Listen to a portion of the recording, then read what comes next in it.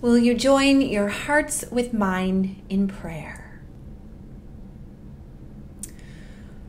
O loving Jesus, one of the things we know about you is that you were very smart. When you were 12 years old, they found you in the temple debating the teachers. And all through your life, you harbored a sparkling zeal for learning.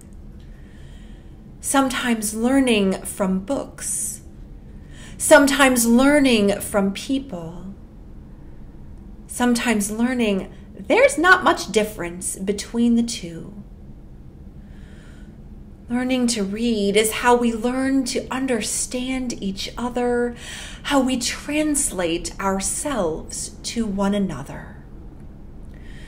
Will you come pour out your blessing on all the books? May reading open our minds to ideas we had never before considered. May reading open our hearts to deeper empathy May reading open our lives to your creative power. O loving Jesus, you show us what it looks like to be a people who keep learning. Now we are your students. You are the way and the truth and the life. You are the Word of God for the people of God. Thanks be to God. Amen. Amen.